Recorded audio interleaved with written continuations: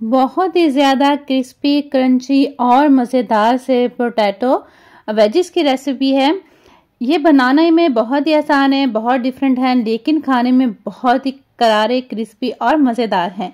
तो आप इनको ज़रूर बनाइएगा, बना के बच्चों के लंच बॉक्स में भी दे सकते हैं। तो इन ताला बच्चों को भी ये बहुत ही ज़्यादा पसंद आएँगे। और इनकी जो कटिंग है, वो भी मैं आपको बताऊँगी कि इनकी कटिंग किस तरह से की जाती है। जो आम तरह से हम फ्राइज बनाते हैं, इनकी कटिंग उनसे ज़रा डिफरेंट होती है। तो ज़रूर वीडियो को फुल वॉच कीजिएगा। अस्सलाम वालेकुम welcome back to my channel cooking with Malik family एक नई रेसिपी के साथ मैं आप सबको वेलकम करती हूँ। जी तो व्यर्स आज हम बनाएँगे बहुत ही क्रिस्पी से, मज़ेदार से पोटैटो वेजिस और ये बनाना बहुत ही आसान है तो चलिए हम रेसिपी को स्टार्ट करते हैं। सबसे पहले हमने आलू ले लेने हैं। मेरे पास ये हाफ़ के जी से ज़्यादा आलू हैं, और इनको हम कटिंग किस तरह से करेंगे तो ये भी आप ज़रूर देखिएगा। यहाँ पर मैंने इनके छिलके नहीं उतारे, क्योंकि इनकी जो स्किन है ना, वो बहुत ही ज़्यादा बारीक सी है, इसलिए उतारने की ज़रूरत नहीं है। तो यहाँ पर आप देखिए कि पहले हमने क्या करना है, एक आलू के दो पीस कर लेने हैं, इस तरह से। लेकिन आलू को आपने वॉश बहुत अच्छी तरह से पहले ही कर लेना है। तो दो पीस करने के बाद जो हमने एक पीस लेना है, उसके भी दो पीस करेंगे और जो दो पीस किए हैं, उनके फिर से हम दो दो पीस कर लेंगे। हाफ़ करके हमने एक आलू के एक साइड के हमने चार पीस करने हैं इस तरह से। तो ये आप देखिए कि किस तरह से इनकी एक साइड से चूंचे से निकली हुई हैं और एक साइड से ये थोड़े से फ्लैट हैं। तो इसी तरह से इनकी कटिंग होती है, ये बहुत ही इनकी स्पेशल सी कटिंग होती है वेजिस की। तो आप इनकी कटिंग ज़रा ज़रूर ध्यान से देखिएगा। और आप यकीन करें, ये इतने मज़ेदार और क्रिस्पी बनते हैं ना कि आप इनको ज़रूर फ्राइज़ की जगह पे बार बार इन्हीं को बनाना पसंद करेंगे, क्योंकि इनकी शेप भी थोड़ी डिफरेंट तरीके की होती है। तो ये देखिए, दोबारा से मैं आपको दिखा रही हूँ कि किस तरह से हमने इनके बीच में कट लगा के और हाफ़ आलू के बीच में से भी हमने फिर कट लगाना है।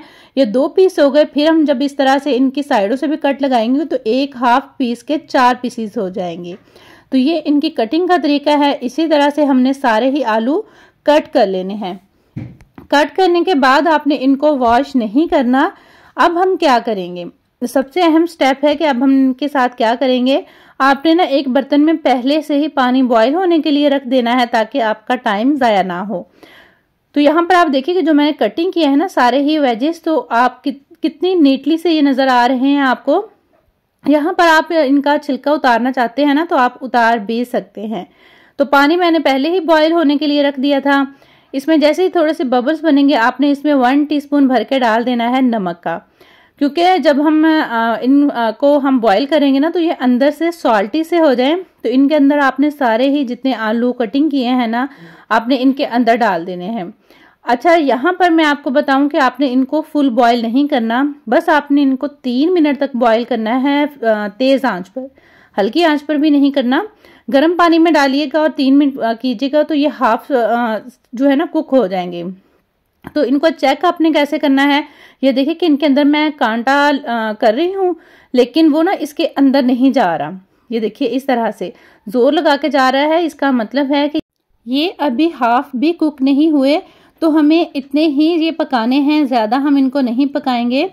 और ये तकरीबन अभी सिक्सटी परसेंट कच्चे हैं। तो अब यहाँ पर हम आ, क्या करेंगे? एक लई से बनाएँगे। उसके लिए मैंने वन टेबलस्पून भर के लिया है आ, मैदे का। और साथ ही मैं इसमें डालूँगी वन टेबलस्पून ही कॉर्नफ्लोर का। वन टेबलस्पून ही हमने इसमें मैदा डाला है वन टेबलस्पून ही इसमें हम कॉर्नफ्लोर डालेंगे और वन टेबलस्पून ही हम इसमें डालेंगे चावल का आटा। यकीन करें, ये इतना, इतनी मज़ेदार सी लई बनेगी ना, क्रिस्पी सी लई बनेगी। तो इसमें हमने स्पाइसेस डालने हैं कुछ। सबसे पहले मैं इसमें शामिल कर रही हूँ नमक। नमक मैंने हाफ़ टी स्पून डाला है क्योंकि बॉयल करते हुए भी नमक शामिल किया था। और अदरक पाउडर डाल रही हूँ मैं यहाँ पर वन टीस्पून अगर आपके पास नहीं है तो आप इसमें फ्रेश भी डाल सकते हैं। हाफ़ टी स्पून डालेंगे इसमें लहसुन पाउडर। लहसुन पाउडर भी नहीं है तो आपने इसमें फ्रेश पीस के अच्छी तरह से फाइन पीसना है और फिर आपने इसमें शामिल करना है। हाफ़ टी स्पून ही इसमें शामिल किया है चिकन पाउडर। चिकन पाउडर नहीं है तो आप स्किप कर दीजिएगा कोई मसला नहीं है। और इसमें मैं शामिल करूँगी पिसी हुई लाल मिर्च हाफ़ टी स्पून मैं इसको कम स्पाइस वाला बना रही हूँ। अगर आपको ज़्यादा करना है तो आप स्पाइस को ज़्यादा कर लीजिएगा। हाफ़ टी स्पून ही इसमें शामिल करेंगे पिसी हुई आ, काली मिर्च। तो आप देख सकते हैं कि यहाँ पर मैंने सारी ही चीज़ों को अच्छे पहले ड्राई मिक्स कर लिया है। अब आप इसमें ना कुटी हुई लाल मिर्च शामिल करना चाहते हैं तो कुटी हुई लाल मिर्च भी शामिल कर सकते हैं। और फिर थोड़ा थोड़ा पानी डाल के आपने इसकी एक लई सी बनानी है। लई की जो कंसिस्टेंसी है, वो मैं आपको बताऊँगी कि कितनी रखनी है। एकदम से आपने इसमें पानी शामिल करके लई नहीं बनानी। पहले आपने थोड़ा सा पानी शामिल करके इसकी गुटलियाँ खत्म कर लेनी है और फिर मजीद थोड़ा थोड़ा पानी डाल के आपने एक लई से बनानी है। तो ये देखिए, माशाल्लाह से। फिर आपने इसको ना एक चम्मच पे कोट करना है। अगर तो ये आपस में नहीं मिल रही ना साइडें तो इसका मतलब है कि ये बिल्कुल परफेक्ट है, क्योंकि हमने ना बिल्कुल गाड़ी गाड़ी से लई नहीं बनानी। तो अब हम क्या करेंगे, आलूओं को ना हमने ड्राई कर लेना है एक ट्रे में रख के। अच्छी तरह से खुश्क होने चाहिए आलू बॉईल करने के बाद। फिर इनके ऊपर हमने डाल देना है यहाँ पर चावल का आटा। मैंने इस पे चावल का आटा डाला है, आपके पास नहीं है तो कॉर्नफ्लोर भी डाल सकते हैं। और अच्छी तरह से आपने सब पे कोट कर लेना है। सारे ही आलूओं पे अच्छी तरह से चावल के आटे की कोटिंग होनी चाहिए। नहीं तो बिल्कुल भी ये क्रिस्पी नहीं बनेंगे। फिर आपने एक एक आलू को उठाना है और जो बैटर हमने बना के साइड पे रख दिया था, उसमें डिप करना है। आपने सारे ही आलूओं को कट्ठे बैटर में नहीं डालना, क्योंकि इनमें कॉर्नफ्लोर है तो फिर सारी ही आपकी मेहनत ज़ाया हो जाएगी।